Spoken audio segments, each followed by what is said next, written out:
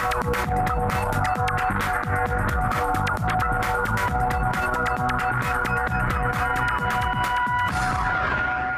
Беларусь-4 программа «Де-факто» мы рассказываем о главных происшествиях за неделю, сообщаем правовую информацию и обсуждаем темы, которые касаются нашей с вами безопасности. В студии Александр Гамоля. Здравствуйте. Весеннее обострение невнимательности на дорогах Гомельской области выросло количество ДТП.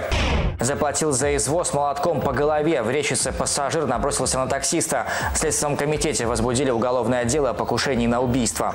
Сдуло как пушинку в Мозырском порту в результате порыва ветра рухнул кран. Половодье началось. Какой разлив воды ожидается на Гомельщине и кто уже терпит бедствие? Репортаж Алексея Немкевича. А также весна 2018. О каких опасностях предупреждает МЧС в условиях резкого потепления и как пережить паводок с минимальными потерями? Поговорим с экспертом. И начнем наш выпуск с обзора криминальных событий и происшествий за последние семь дней. В центре внимания наших корреспондентов оказались самые нашумевшие факты и чрезвычайная ситуация. В Жлобинском районе на пожаре не удалось спасти мужчину. Сотрудники МЧС выехали по сообщению о возгорании в панельном двухэтажном доме в деревне Бобовка. При проведении разведки звеном газодымозащитной службы на полу в задымленной ванной комнате было обнаружено тело хозяина. Мужчина 1968 года рождения проживал один. Причина пожара устанавливается, наиболее вероятные версии – нарушение правил эксплуатации электросетей, электрооборудования или неосторожное обращение с огнем при розжиге газовой плиты. В Гомеле на остановке общественного транспорта столкнулись легковушка и автобус. Автомобиль Audi притормозил перед поворотом и получил удар сзади. В результате столкновения часть правого крыла МАЗа осталась впечатанной в легковушку. По словам очевидцев, среди пассажиров автобуса были пострадавшие. К слову, погодные катаклизмы весны серьезным образом повлияли на статистику дорожно-транспортных происшествий в Гомельской области. В Мозырском районе 37-летний водитель, управляя автомобилем «Крайслер», неправильно выбрал скорость, не учел погодные условия, состояние дорожного покрытия. Он выехал на встречную полосу и совершил столкновение с автомобилем Hyundai. В результате ДТП водитель иномарки получил телесные повреждения. Подобное ДТП произошло и в Реческом районе. Там с обгоном по встречной не справился водитель автомобиля ВАЗ. В результате столкнулся с Мерседесом. Медицинская помощь понадобилась водителю и пассажиру ВАЗа. А в Петриковском районе неправильно выбранная скорость на скользкой дороге привела к опрокидыванию автомобиля в кювет. Травмы получила 50-летняя женщина-пассажир. Просто сдуло. В Мозырском порту 10-тонный подъемный кран упал на корму рудовоза, который стоял под разгрузкой. Произошло это из-за сильного ветра. Его порывы на тот момент достигали 17 метров в секунду. На видео заметные последствия падения. Портал крана «Кировец» лежит на берегу, а стрела находится частично в воде, частично опирается на судно. Кран проработал в порту около 38 лет. Падением он серьезно поврежден, поднять его уже не получится. Очередное нападение на таксиста совершено в Гомельской области. Пассажир проломил водителю череп. Нападавшим оказался 17-летний речичанин. Он вызвал такси, чтобы навестить могилу родственников в деревне Стасевка. По приезду на кладбище изрядно выпивший молодой человек набросился с молотком на 63-летнего таксиста. Следствие не исключает, что место было выбрано не случайно и отрабатывает различные версии дерзкого нападения, а также выясняет мотивы преступления. Водитель жив, он находится в больнице, а подозреваемый в изоляторе временного содержания. С начала года милиция Гомельской области зафиксировано 42 кражи велосипедов. С наступлением теплой погоды количество хищений стало расти, сообщили в управлении внутренних дел Гомельского облсполкома. В основном угонщики пользуются беспечностью владельцев, которые оставляют велосипеды на лестничных площадках домов, в незакрытых помещениях, возле подъездов и магазинов. Если техника дорогая, то надежным средством против угона нельзя считать и велозамки, ведь они легко срезаются кусачками. Самый верный способ защитить имущество – поставить поставить велосипед на учет в милицию. До начала пассивной кампании милиция проверит все мехдворы. В случае установления фактов разукомплектования и неработоспособности машин руководителям хозяйства будут внесены предписания. Стражи порядка проконтролируют и то, как будут устраняться выявленные нарушения. Кроме того, во время пассивной кампании правоохранители изучат расходование бюджетных средств предприятиями агропромышленного комплекса, проведут работу по выявлению сомнительных сделок. Без внимания милиции не останутся также факты разборки, подлежащие ремонту техники, техники без оформления соответствующих документов и некачественного выполнения работниками АПК своих должностных обязанностей. В Беларуси по поручению президента страны Александра Лукашенко проверяют места массового скопления людей на предмет соответствия нормам пожарной безопасности. В первую очередь на контроле торговые центры. За неделю по выявленным нарушениям более 300 руководителей уже привлечены к ответственности. По словам министра по чрезвычайным ситуациям Владимира Ващенко, эта работа носит системный характер. О том, какие недостатки смогли выявить инспекторы в Гомельской области, далее в материале. Трагедия, унесшая в соседней стране на пожаре более 60 жизней, послужила сигналом к тщательной проверке объектов с массовым пребыванием людей на предмет обеспечения безопасности. Последние две недели сотрудники МЧС проверяли гостиницы, торговые центры, рестораны, рынки, больницы и санатории. Большинство выявленных нарушений носили режимный характер. Их устранение не требовало затрат. Именно потому руководители центров и магазинов приводили свои помещения в безопасное состояние сразу в присутствии инспектора. Но безопасность людей не связана только с предотвращением возникновения пожаров. Управление Госпромнадзора акцентировало свое внимание на исправности лифтов, эскалаторов, а также безопасности при эксплуатации котлов, газораспределяющего и газопотребительного оборудования в торговых и развлекательных центрах. По работе некоторых из них возникли серьезные вопросы. В ходе мониторингов выявлялись нарушения, которые э, могут повлечь возникновение чрезвычайных ситуаций, нанести ущерб э, жизни и здоровью людей, э, послужить причиной нарушения эксплуатации объекта. Ну, так, например, в торговом центре «Березки» города Светлогорск выявлены нарушения при эксплуатации трех газопотребляющих котлов – не проведено техническое освидетельствование, техническое диагностирование, отсутствует персонал, э, допущенный и обученный к эксплуатации.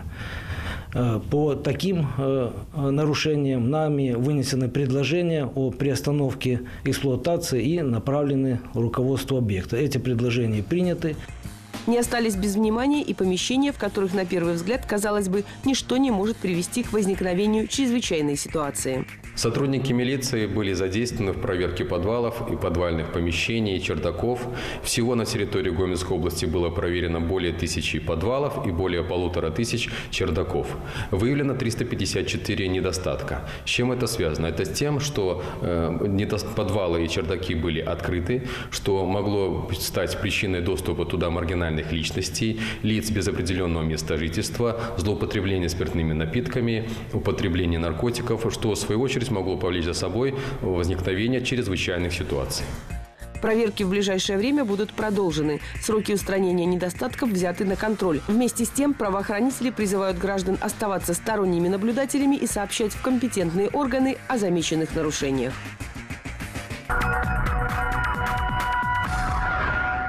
Гомельская область поплыла. Например, на Полесье Припять делает улицы настоящими реками. Под водой огороды и дворы в Петрикове. Развитие ситуации в дальнейшем зависит от погоды. Если осадки по стране продолжатся, стоит ждать большой воды. Кого коснется паводок и что делать, если вода пришла, выяснял наш корреспондент Алексей Немкевич. Была вода до самого пола. Вот, до самого, до самого пола была. И даже в доме была вода. Немножко, плинтус. Именно таким Раисе Ивановне запомнился 2012 год. Ее дом, расположенный в Гомеле в микрорайоне Монастырек, одним из первых тогда оказался в воде. В этом году такого разлива реки Со женщина не ожидает, но уже готова к любой ситуации. У нас все наверху. У нас все надо вынести сюда. Все у нас есть э, куда выйти, куда что. Э, у нас вот высокий здесь фундамент очень высокий. И у нас тут уже не будет страшно воды, как в 2012 году было. С приходом потепления в Беларуси на особый контроль взяты регионы с подтоплениями. Большая вода пришла в Петриковский, Добружский Мозырский районы Гомельской области и Столбцовский в Минской. Добраться в некоторые места уже можно только таким способом. На лодках, правда, пока переправляются только люди. Грузы все еще доставляются грузовым транспортом. А на этих кадрах видно, как в деревне Голубица, чтобы попасть к больной на лодке, пришлось отправиться фельдшеру.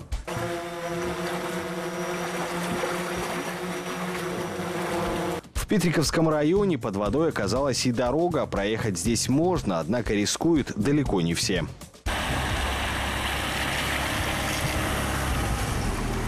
Случае необходимости в регионе спасатели готовы задействовать четыре сводных отряда, один областной и три районных, численностью до 40 человек каждый. Они вооружены необходимой техникой и готовы в течение шести часов быть в любой точке области. Это переносная пожарная мотопомпа. Она используется для откачки воды и способна за один час перекачать более 15 кубических метров воды. В парке МЧС есть и агрегаты, способные откачивать до 500 кубометров воды в час. А вот этой машине вода и вовсе не помеха. Она не только способна плыть, но и перевозить людей до 70 человек за раз, либо грузовой автомобиль. Но главным орудием по-прежнему остается человек. Костюм защитный водостойкий универсальный, предназначен для проведения аварийно-спасательных работ э, в сессионных условиях на воде, защищает спасателя от попадания влаги и воды.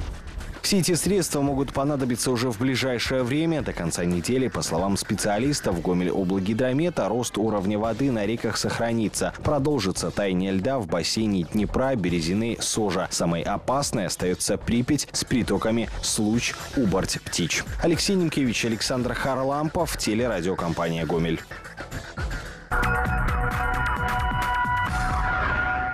Разлив 2018, судя по прогнозам гидрологов, обещает быть масштабным. Как всегда, в зоне риска находятся населенные пункты, которые ближе всего расположены к полноводным рекам. Но паводок не единственная угроза. Не меньшую опасность представляют талые воды. По этой причине в области уже зафиксированы случаи обвала грунта, обрушения сельхозконструкций и проседания грузовой техники. О том, какие чрезвычайные ситуации готовит нам весна 2018, поговорим с первым заместителем начальника Гомельского областного управления МЧС Сергеем Мелешкиным. Сергей Николаевич, здравствуйте. Здравствуйте. Какова ситуация с подтоплениями в Гомельской области сегодня? Э, Паводок, в принципе, характерен для территории Гомельской области. Э, Данные события происходят ежегодно, э, поэтому и в этом году мы, в принципе, готовы к паводку. На сегодняшнем этапе ситуация контролируема, то есть угроз жизнеобеспечения граждан нет. В целом, если говорить в цифрах, то сейчас паводками водами подтоплено порядка 8 участков дорог и 48 участков э, хозяйственных, э, ну, территорий хозяйственных домовладений. Э, Это в основном приходится на Житковические и Петриковские э, районы. Ну и также вчера э, в Добрусском районе 24 участка придомовых было подтоплено Харапуть рекой. За То одну есть- ночь? Да, за, одну, за вчерашний день это было, произошло сразу 24 участка, то есть повысился резко уровень э, в реке воды и подтопления произошли. В принципе, всю эту ситуацию мы контролируем, координируем. Угрозы жизнедеятельности гражданам, повторюсь, нет. Что касается вот готовности подразделений МЧС, на каком уровне она находится? Э, Вся информация за годы существования нашей службы, она ежегодно э, нами аккумулируется, прорабатывается. И мы на сегодняшнем этапе всегда готовимся к худшему варианту. Э, У нас сегодня создано 4 сводных отряда. Взята на учет вся водоплавающая техника, вся откачивающие станции. Проверена их готовность. Все службы соответствующие тоже на сегодняшнем этапе проверены. И на комиссии ПЧС, которая состоялась в марте месяце, все областные службы доложили. Э, С выездом на места мы проверяли непосредственно э, на местах, соответствует ли эта информация действительности. Те проблемные вопросы, которые имели место, они не несли какой-то отрицательной темы, они устранены.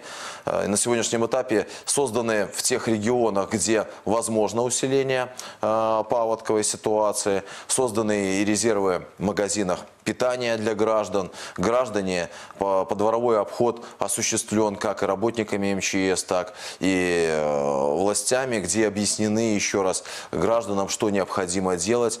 Э, Ведется постоянный мониторинг ситуации. То есть на сегодняшнем этапе э, рассматривается самая худшая ситуация. Мы ее контролируем, видим по всем цифрам, которые нам предоставляет Гомельский гидромедцентр, и она подконтрольна.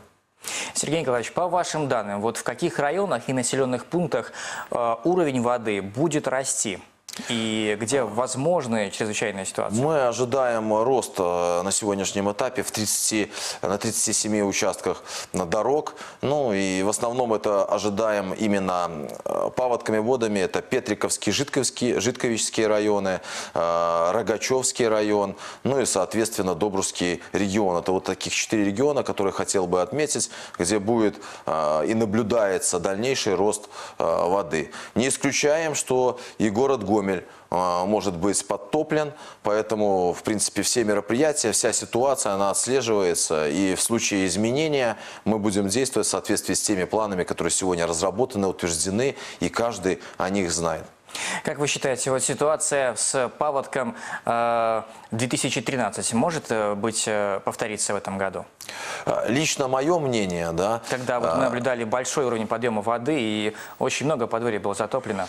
Лично мое мнение, 13 год в этом году, лично я вот так считаю, что не повторится данная ситуация, но я скажу, что это лично мое мнение. Мы, в принципе, готовы к худшему варианту. У нас все места для отселения граждан, они все есть, они все учтены. То есть, э, если ситуация будет ухудшаться, мы заблаговременно всем гражданам, проживающим в зоне подтопления, будем предлагать переехать, а, пожить пока паводок не пройдет, э, в других местах, которые приспособлены для этого. Это гостиницы в основном и соответствующие оздоровительные лагеря. Тут, наверное, много будет зависеть от того, э, будут ли осадки этой весной, и от этого будет зависеть развитие ситуации с подтоплением. Действительно, да. Если дожди, э, погодные условия немаловажно влияют на это, если сейчас осадки усилятся, то, конечно, ситуация будет ухудшаться. Сейчас мы наблюдаем устойчиво теплую погоду. Какие еще ситуации могут связи с этим возникать на территории Гомельской области?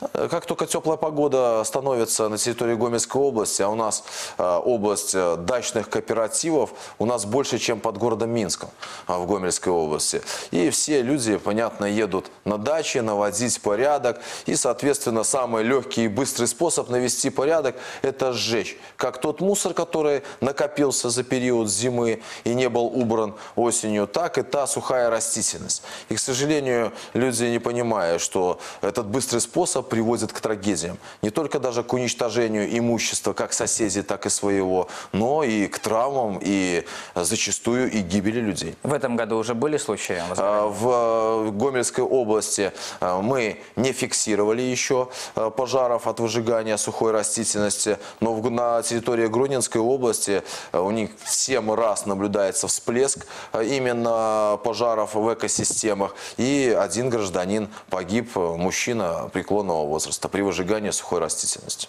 Раз мы уже коснулись темы пожаров, давайте затронем вопрос э, проверок э, мест массового скопления людей, в том числе торговых центров. Какова ситуация на территории Гомельской области? Государственный пожарный надзор, он в принципе всегда осуществлял инструктивно-разъяснительную работу на таких объектах. И в 17 и в 16 годах, в преддверии новогодних праздников, иных каких-то мероприятий. Именно акцент был сделан на знание персоналом действий в случае пожара, на содержание путей эвакуации и умение пользоваться теми первичными средствами, которые объект обеспечен. И с учетом тех событий, которые произошли в Кемеровской области, а, конечно, данная работа усилена.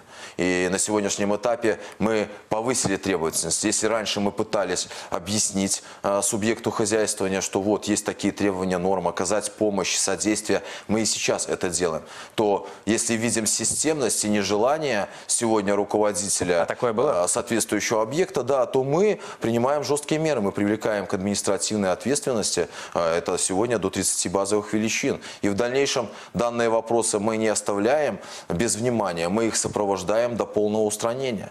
И э, на сегодняшнем этапе все объекты, схожие с теми, которые, а их 33 объекта на территории Гомельской области, они проверены, выданы соответствующие акты по результатам проверки, и ведется работа. Но мы не заканчиваем. Мы взяли две с половиной половиной тысячи порядка объектов различных с, с детьми. Это и детские дошкольные учреждения, это и дома культуры в сельской местности, это и школы, где данный ряд мероприятий сегодня планово проводится. Уже 500 объектов проверено. И основной акцент, еще раз, напомнить вот на эти вот мероприятия, которые сегодня не требуют никаких затрат, да, а требуют личного отношения каждого работника а, того либо иного субъекта хозяйствования. И как итог, э, к сожалению, вот э, даже сегодня ночью произошел пожар э, в деревне Макановичи Реческого района, в Фельдшерско-Крушевском пункте. И э, из-за халатности, по-другому не могу сказать, должностных лиц этот пожар произошел. То есть инспекторам государственного пожарного надзора предписывалось устранить, устроить разделку в печном отоплении. Но сегодня версия именно и пожар произошел из-за того, что это мероприятие не было выполнено. Соответственно, данный факт мы рассмотрим, и э, опять же будут предприняты все меры, вплоть до того, что будем инициировать перед управлением здравоохранения рассмотрение данной ситуации.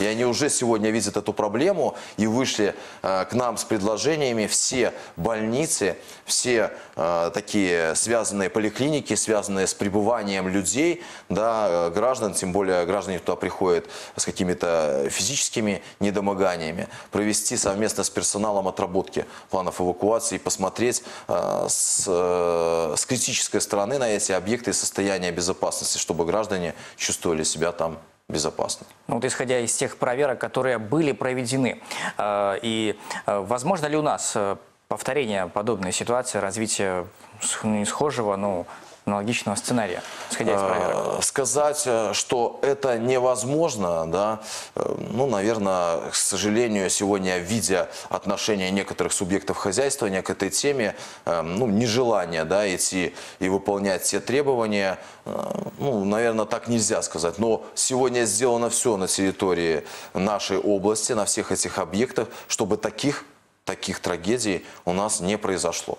И оно будет постоянно мероприятие проводиться, как проводились и ранее. Вот сейчас хотелось бы отметить вместе с БРСМ, э, с молодежью э, придумали акцию и проводим ее, осуществляем. Выход есть где будем посещать ночные клубы, заведения, вот где Димин отдыхается, отдыхает молодежь, и благодаря вот этим активистам этой организации мы будем реализовывать ряд мероприятий, направленные на обеспечение безопасности. Это знание действий в случае пожара, умение пользоваться первичными средствами пожаротушения, не проходить мимо тех условий, которые могут привести э, к чрезвычайной ситуации. Ну и плюс, конечно же, это общежитие, в которое они проживают, обучаясь сегодня в соответствующих учебных заведениях в Гомельской области. То есть содержание их и путей эвакуации, и тех мероприятий, которые обеспечат безопасность. Я думаю, что эта новая форма работы еще позволит нам обратить внимание именно молодежи на эту проблему. И, соответственно, у них устойчивая э, позиция выработается.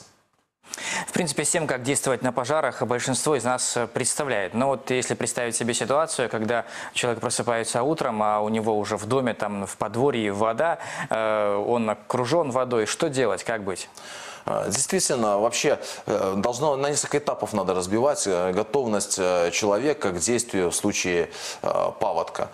Конечно, это сначала предупредительные мероприятия, то есть человек, который проживает в той либо иной местности, он даже используя приложение МЧС «Помощь рядом» может установить, под его место проживания будет подтоплено паводками водами, если нет. Если будет, то, соответственно, он должен для себя уже выработать механизм, какие вещи, каких э, животных домашних он будет куда размещать, где. То есть готовиться э, надо го- заранее к этой ситуации. есть даже пословица «готовь сани летом, а телегу зимой». И мы, в принципе, должны это все понимать. Но, к сожалению, как показывает обратное, у нас граждане э, не готовят, вот даже талыми водами сейчас активно осуществляется подтопление некоторых домовых участков. Ну, к этому же можно было приготовиться и раньше. А, Потому что не ежегодно на одни и те же адреса мы выезжаем. А для того, чтобы тебя не подтапливало паводковыми водами, возьми, прокопай канал, сделай себе водоем. Да, то есть заблаговременно разбей лед, уменьши содержание снега на своей территории. Но граждане не хотят в большей степени это делать. Им проще набрать номер 101, сказать, что я терплю бедствие, приедут работники МЧС и будут откачивать эту воду э, с того домовладения либо хозяйственной постройки. То есть хотелось бы призвать здесь и граждан, чтобы они То понимали есть те, которые могут физически это сделать, Да. должны это делать. Даже если те граждане, которые сегодня в, ну, в рамках своих каких-то физиологических, это возраст преклонный, то эти мероприятия сегодня решаемы. Сегодня есть и ряд э, комиссий, которые действуют, есть и орган власти на местах, и смотровая комиссия. То есть эти вопросы можно решать заблаговременно, даже путем тех активистов, БРСМовцев, которые проводят сегодня эти мероприятия и оказывают помощь престарелым гражданам. Соответственно, второй этап – это, конечно, уже действие непосредственно, э, когда вас застигло, как вы говорите, врасплох, вы просыпаетесь, а здесь уровень воды растет, то здесь, конечно же, надо э, как можно подняться повыше, залезть на чердак, да, на второй этаж домовладения, если есть. Соответственно, предупредить всех близких, э, родственников, которые проживают, соседей при помощи мобильного телефона, э, как пожелание, хотелось бы в первую очередь, конечно, успокоиться. И не надо звонить всем Не и сразу, чтобы, да, сохранить питание э, в телефоне, потому что если ситуация будет ухудшаться, чтобы гражданин имел возможность дозвониться и сказать, что все, у меня проблема, я боюсь, и меня надо первого спасать. То есть, в целом, иметь запас питания соответствующий. То есть Э, холодильник должен быть да, конечно, здесь однозначно, если ты находишься в зоне риска, ты должен хотя бы на трое суток иметь питание, иметь то меню, которое будешь потреблять э, в случае даже если тебя эвакуируют в, безопасное место. Ну и, соответственно, э, вспомнить о тех химикатах, которые хранятся в доме, заблаговременно их разместить э, непосредственно в том месте, где паводок не достанет, либо вывести вообще из дома. Ну и, конечно же, избегать соприкасания с электроприборами различными, то есть заблаговременно понимать, где будешь размещаться в случае такой ситуации. Ну и итог, когда эта вода ушла, то, соответственно, не надо э, спешить откачивать воду, оставшуюся в доме, потому что это очень пагубно влияет на строительные конструкции самого дома, резкие перепады. Э, Соответственно, не пользоваться колодцами, э, воду кипятить, э, питаться только теми продуктами, которые, в принципе, не были затронуты э, паводком. Ну и, соответственно, наводить порядок на своей территории. Сергей Николаевич, большое вам спасибо за актуальные ответы. Ну а телезрителям напомню, что в студии программы «Де-факто» вместе с первым заместителем начальника Гомельского областного управления МЧС Сергеем Мелешкиным мы обсуждали ситуацию с паводком и весенними пожарами. И в завершении программы по традиции рубрика «Я очевидец». Вашему вниманию подборка происшествий, снятых видеорегистраторами и камерами мобильных телефонов людей по всему миру. Течение полутора недель после возгорания торгового центра в Кемерово серия пожаров произошла по всей России. В Сочи загорелся многоквартирный пятиэтажный дом. Кадры, на которых видно, как у здания горит кровля, были выложены в сеть жителями города. Ликвидация пожара осложнялась высотой возгорания. На борьбу с огнем спасатели потратили несколько часов. Пострадавших нет. Одним рестораном стало меньше в Казани. 31 марта случился пожар в заведении общепита «Старый амбар». Сотрудники МЧС России боролись с огнем более получаса. В Москве произошел пожар в торговом центре «Персей для детей». Сообщается об одном погибшем работнике магазина. Очаг возгорания был зафиксирован в складском помещении. Никто из посетителей не пострадал. Несколько пожарных получили травмы. Следственный комитет выясняет причину возгорания. Тем временем во власти огня на этой неделе также побывали другие торговые объекты. В Тюмени сгорел гипермаркет Rich Family. Площадь возгорания составила 3000 квадратных метров. В Нефтекамске огненная стихия наполовину уничтожила центральный рынок. Оба пожара спасателям удалось ликвидировать. Сейчас устанавливается источник возгорания. Не исключается версия поджога торговых объектов. Пострадавших нет. Следователи проводят проверку, в том числе и на предмет криминальной составляющей произошедшего. В Украине на трассе под Тернополем перевернулся и загорелся молоковоз. Попытавшись резко объехать выбоину на трассе, водитель машины допустил неуправляемый занос, после чего автомобиль едва не столкнулся с попутным фургоном и перевернулся. Молоко разлилось по асфальту, а грузовик практически сразу загорелся. Водитель оказался просто везунчиком, ведь ему удалось выбраться из кабины, отделавшись при этом только испугом и ссадинами. Африка продолжает раскалываться на две части. Виной тому огромная трещина, которая появилась на юго-западе Кении. Многокилометровый разлом сопровождается сейсмической активностью и недавно привел к разрушению части местного шоссе, а также к новым расколам земной коры. На сегодня его общая длина составляет 3000 километров и разделяет африканскую плиту на две неравные части – сомалийскую и нубийскую плиты, которые отходят друг от друга со скоростью 6-7 мм в год. На юге континента разлом молодой и увеличивается со скоростью 2,5-5 см в год. В республике Коми пополам разорвало трактор. Инцидент случился, когда машину взяли на буксир и пытались вызволить из обледенелой полыньи. В результате техника раскололась пополам. Из ледяного плена высвободилась только передняя часть трактора, а кабина наполовину погрузилась в воду. Достал ее только эвакуатор.